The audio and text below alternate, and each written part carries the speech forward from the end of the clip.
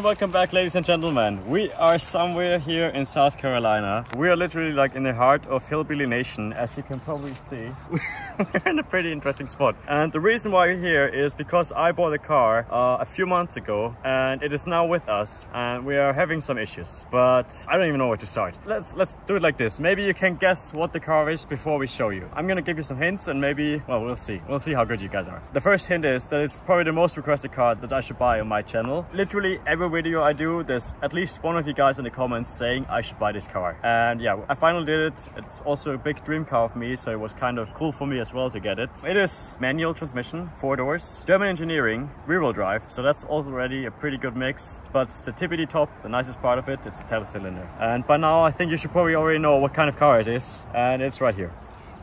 Yeah. Uh, as you can see, we're having some smaller issues with it. Well, if you come with me really quick, this is the holy grail of BMW, of German engineering kind of, or like the most painful car to own, whatever you want. Uh, it's a six-speed manual transmission BMW M5 E60 with obviously the glorious V10 inside. Uh, it's facelift, so it's actually pretty nice. And I bought it in Los Angeles a few months ago, and as you can see, the car is in terrible shape. So before we do anything to it, obviously we kind of have to fix it up. We're gonna check it out later in the workshop, and we're gonna see what the car needs. Yeah, we're here at European Road and Racing in South Carolina, and my friend Sean, he already checked the car a little bit for us and he thinks we're gonna need a new engine. But we're gonna find it out today. We're gonna take the engine out, we're gonna see how the oil is and everything, and then we're gonna see what the car needs. What we do already know is the car needs a new front bumper because, yeah, this car has seen some shit. Yeah. I don't know what's going on here. Light as well. I don't know how that happened. Yeah, this has also seen some better days, I guess. The sand inside, I don't really know what happened there. Also, it's been sitting for quite some while. No so- oil. No oil. Obviously, we have some spider webs here. Honestly, looks like it's uh, a Scheunenfund. Yeah. Like it's a barn find M5. This is obviously officially my barn find M5 E60. And our mission for the next days here in South Carolina is to make this M5 glorious again and see how it performs. Mani already put his nice sticker on there before we did anything, so thanks Mani. Yeah, rear bumper is also got the Hawaii plates, which is pretty nice. Yeah, I don't know. Let's start by cleaning it, I guess, because Sean said the underside looks like the car has been to the Sahara as well. Yeah, maybe we clean the engine bay, the outside and underneath. And then we're gonna push it inside, we're gonna show you the car properly, and then we're gonna start this mission. I am so excited. I've always wanted to have an M5 V10. Not in this condition, but we're gonna get it there. I'm very, very motivated. And this car, once it's running, it's gonna be the best sounding car ever. Trust me. Yeah, let's go. Yeah, we also have Gabriel with us as a support, our favorite M5 mechanic. Mani is already motivated on the forklift. Yes, sir. Yeah, Mani, let's get it going. Let's get the car to the washing place and then gonna see how that goes, I guess. I've always wanted to have an M5, well, obviously in a better condition, but like I said, we're gonna hopefully make it better now. Oh my god. It's gonna be pretty interesting, I guess.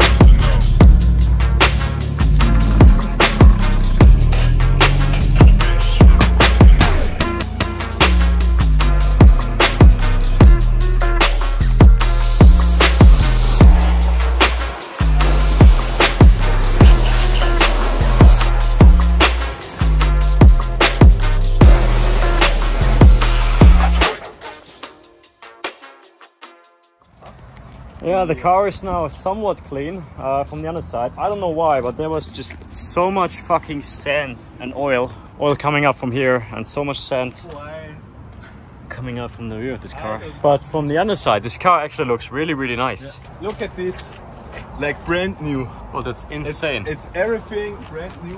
But yeah, this car is like, what, 2000, 2006, I think? So nearly 20 years old and it still looks, obviously, if you clean it a little bit, but the condition, No, except if we like ignore all the sand in the front, the car is in a perfect condition from here. I mean, obviously the rear bumper is gonna need some love. Oh yeah, and this. the most important part, we have a nice little Eisenmann exhaust on here. So this thing is gonna fucking sound amazing, I hope. By the way, this is the man, the myth, the legend, Sean, uh, who did like the previous job of looking at this car. What do you say? It's dirty. It's dirty? Not anymore. Now it's a clean piece of shit. Yeah, we're gonna have to put some effort in to make this brand new again, or like at least somewhat brand new. Sean already hinted that we might need a new engine. Uh, we're gonna find it out, gonna pull out the engine, take the complete front off now uh, once everything's dried up, and then we're gonna inspect damage a bit further. But first things first, eating. Eating. Oh yeah, most yeah, important. let's uh, dry it out. and eat something in the and- meantime. Yeah. and- But it's so clean from the underside though. Like in Austria, this would be rusty as fuck. Yeah. It probably wouldn't be a bad idea to drop the structural pan under here and Clean it. Yeah, get it a little bit more while it's up here. You know. yeah. Honestly, so far, I'm pretty surprised by the condition of this car. It doesn't seem so bad. Obviously, if we need a new engine, that's gonna suck. But yeah, we're in America, land of the free, and parts here are actually pretty cheap com compared to Europe. So, oi, oi, oi. so that's yeah. But like I said, we're gonna find it out today. Obviously, what I already know we need is a new oil cooler. We need new front and rear bumper, and probably some structural parts as well. So that's gonna set me back a bit. By the way, I bought this car for 21,000 US dollars. Ay, ay, ay. At this point, I was so happy because I finally found my M5 V10 that I've been looking for for such a long time. And not even that, it seemed to be in a way better condition than expected, at least from the underside. No rust, nothing. We went to get some food to celebrate this day, and we left the car on a forklift, which turned out to be the worst mistake we've ever made. I can't believe it.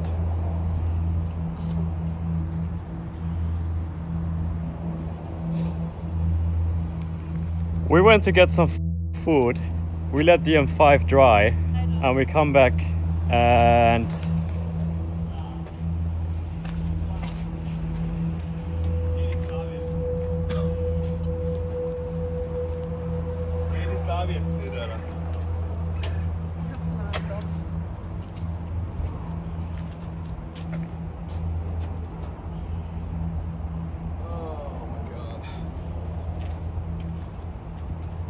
well that sucks. Oh my god. That was so why the f- did we not put it on the ground? Oh my god. Yeah. All right, well let's flip it back over. Alter. I bet it's dry now. At least that, yeah. Well, Jeg tror også, du kender. well that makes things a lot uh, harder, I guess. Das ist fett, Mann.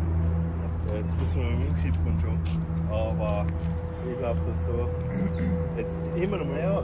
Ich glaube, das kommt Vielleicht billiger, wenn es dann ein bisschen ein Blick. Weißt du, wie sie ist. Schön mit der Föhn geschürt und dann das zum drüber draht wird, dass er nicht so nichts drin I. I can't f***ing believe it. My mirror.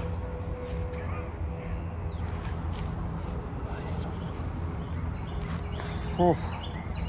Oh, that one's fine. Yeah, that one's fine. So this, the hydraulic failed? Yeah. Oh my god. I think if we if the lift is a little bit more backwards, not straight, Yeah, then it would go in the back and not in the front. I can't believe it. Glaube ich, wird dann einmal Spaß machen. Ich glaube nicht. Well, this is. I don't even know what to f- say. We did not expect that to happen. We left it on the lift so everything can dry off, like on the truck. And it seems like one of the hydraulics is leaking, so it just gradually slid down and then the car just fell off. Um, yeah, we came back, found the car like this. We're gonna tipple it over now. We're gonna have to see how we do that. That sucks. My car might actually be totaled now. Bro, I was so happy. That is. That is insane. That is insane. I was so happy to finally, like, you know, all, all we needed to do was fix a few parts and I had an M5 and now I don't even know what to say. Well, yeah, also, I just wanted to make this really clear. It's nobody's fault. I don't blame anybody. You know, things can happen. Let's just hope it's not too bad. If the roof is dented in, this car is gonna be a total loss, I guess. We can only hope that the grass was soft enough to, like, kind of catch the car and impact. What do you think? Prediction? Total loss or okay? I, I would repair it and drive it like like it is. Yeah. yeah, but you're different. Turn around and see what's what's damaged. Maybe it's not that bad. Maybe. mm. Also, die habe ich noch nie gesehen.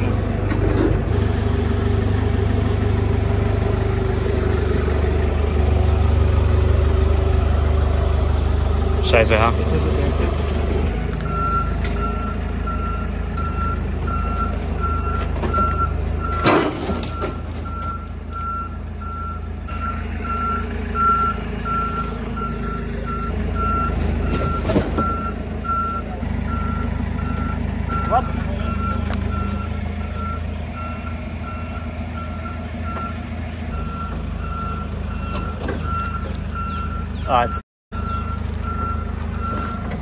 Der ist hier. Oh, scheiße.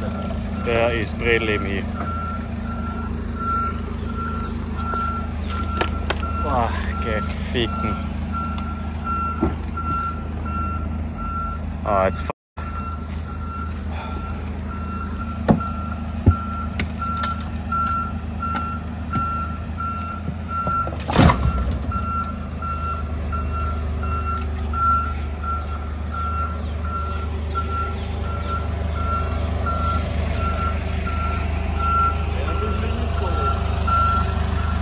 Die Seite ist komplett hinüber.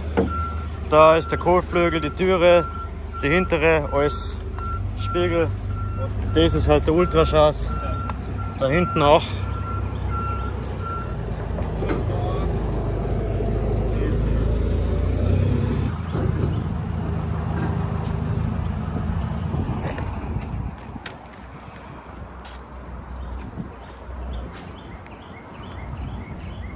Well, at least all the sand is kind of falling out the car now. Oh my god.